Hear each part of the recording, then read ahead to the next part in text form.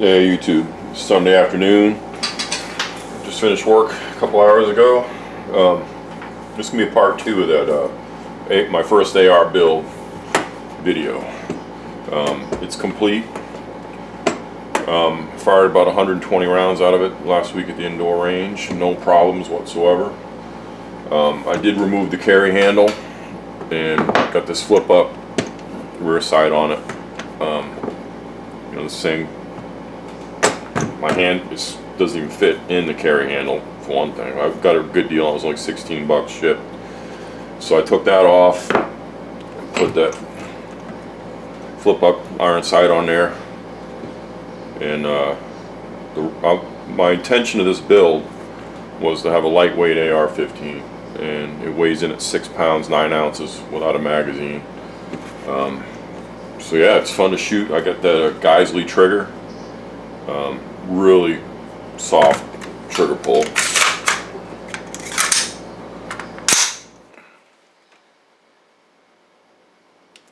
Just gonna take the safety off.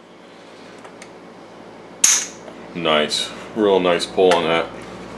Um, yeah, like I said on that last video, I have a Spikes tactical lower receiver that I had sitting in the safe for about a year and a half. So I finally started ordering some parts and I kind of went crazy with the credit card. Uh, I bought that nickel boron bolt first. Um, and then from Palmetto State Armory, I got the whole complete upper. It was like 220 bucks shipped. Um, got the Magpul stock on there. Uh, what else? Hogue grip. And that's about it. I, I really like the weight of this thing. It's really light. Um, I've been more of an AK guy, and my got a milled AK. It's pretty heavy. Also, my first AR-15 that I've, I've had for about five years, which I got totally screwed on this deal. But uh, this thing's pretty heavy. It weighs about two pounds more than this one. And since I got totally screwed on this deal, um, I've had a kind of a bad taste in my mouth on this rifle for a while. So I wanted to build one that I like better, which I do. So I'm going to use this rifle now. I like it a lot. I'm going to take it up to Tennessee. Going to shooting at that indoor range and I'd rather shoot outdoors. So uh, I'm going to bring it up to Tennessee. We're going to shoot the hell out of it up there. But yeah, I like the looks of it. I'm not sure. Uh, I think the only thing I'm going to get for this is a sling now. Um, I don't know, I'm probably going to go with a two-point sling. So we'll see what happens with that. Or maybe I'll take my sling off my other rifle, put it on this one. I just need to get the, uh, well I could use that attachment for the back. Yeah, I won't have to buy anything. Maybe I'll just take that sling off and stick it on this rifle. But it works. Really sweet trigger on it. So, that's about it. Alright guys, just wanted to show off my my first AR-15 build. It's kind of addictive. I got some leftover parts from that build, so I don't know. I might start building another one.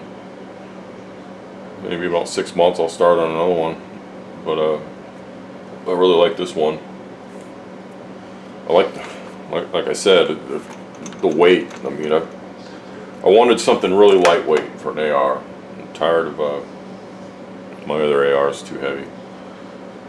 And uh, I might, I might uh, carry this around in Tennessee. Go on a walk in the woods, I'll grab this. Or my SKS, one or the other. See what happens. But uh, yeah, I like it. I like it.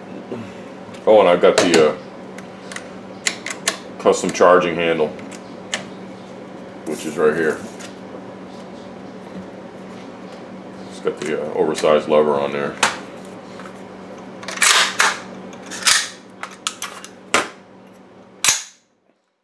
There she is, guys. Hope everyone's having a great Sunday afternoon. I'm done work unless my phone rings. Hopefully I won't have to go back out.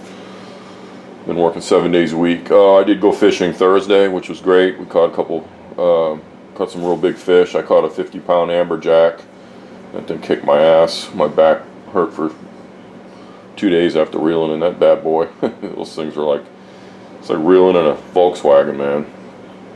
And we caught a uh, 34 pound snowy grouper. Uh, about seven mahi mahi, smaller ones. And we caught um, three skipjack tunas. So that was pretty cool. It was good to get out on a boat. I sold my boat years ago to put the money into my, my land in Tennessee, so I really don't get to go go fishing much anymore. So that was pretty cool. Um, I know the owner of the boat. He invited me on it again. That was that. If anyone remembers, that was that same boat, uh, same video that I did before on that boat that I went on. All right, guys. Shut this video off. It's starting to get a little long. See you later.